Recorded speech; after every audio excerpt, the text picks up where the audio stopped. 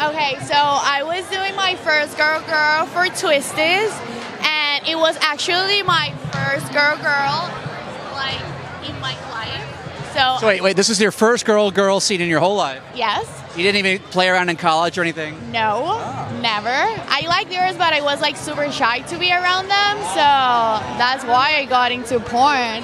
Uh, so I was like super like shy about it, and I didn't know what to do, how to like finger, and we were like taking the still photos, and I was like talking to Holly Randall, that was the, the director. I was like, Holly, I don't know how to do that, and she was like, just stick your fingers on her vagina, and it was with Molly Stewart.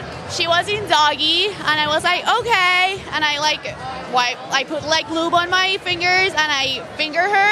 And Molly was like, oh my god, what is wrong with you?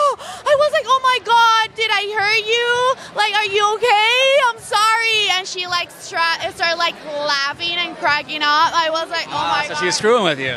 yeah. Now, as a lady, don't you guys do that to yourselves a little bit though?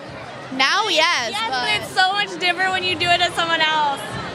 You're always like, do you, do you like this? Yeah, I Do you like like it? like- I don't know. I feel like if I was not that I have, but if I would do that for a guy, I would know exactly what I was doing. But you it's your first time, so that's sweet. Yeah. You think you would know you, what you were exactly doing, but only for you. And you would Oh. think that every guy likes things different. Sounds like girls are complicated. we are. Yeah. Yeah. Yeah. Now, where can we find you nowadays online? Izzy Lush underscore on Twitter and Instagram. What will we see there? Um, on Twitter, naughty things, and on Instagram, my cute self, my, the cute part of me, because I cannot be naughty. That's very sweet. And how are you enjoying the, the porn life so far? Oh, I love it. I born to be in this community.